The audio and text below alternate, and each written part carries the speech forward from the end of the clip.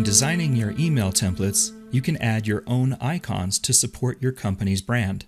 In this video, I want to show you how you can add icon images to your email templates in Act Marketing Automation. Now, icons work in a similar way to social media buttons, but the difference here is that you can use any image from your image library. You can add as many as you like, and you can link your icons to any website. You might include icons for sections of your website, your social media platforms, SMS messages, or even an icon that links to a landing page.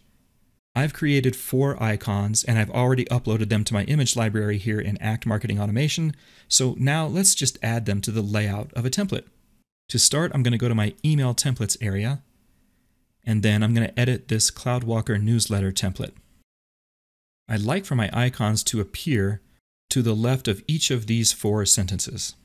So I'm going to select this entire row, and then using the row tool, I'm going to add a new column to the row. Now I need to move these items to the right column, so I'll just drag them over one by one.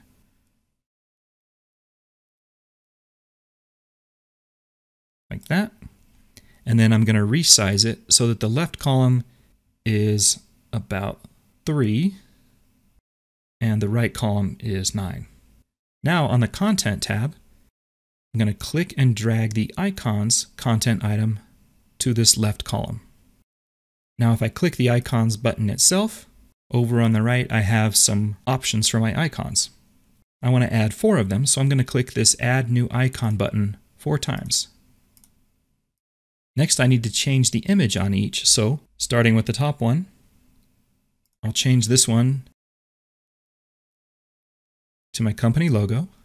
I'll change the second one to the glass icon. The third one is going to be for the can, and the fourth one will be the bottle icon. If I go back to my rows tool, I think I need to squeeze this down just a little bit more. There we go. Now they each appear on their own line. Looking at each of these icons, if I toggle the More Options switch, I can now add URLs to each of these icons. Down below, I can also change the size of the icons, the spacing, and even the padding. Once you're happy with the way everything looks, click the Save button at the top, and now my icons are visible in the template, and they each would link to different places on my website.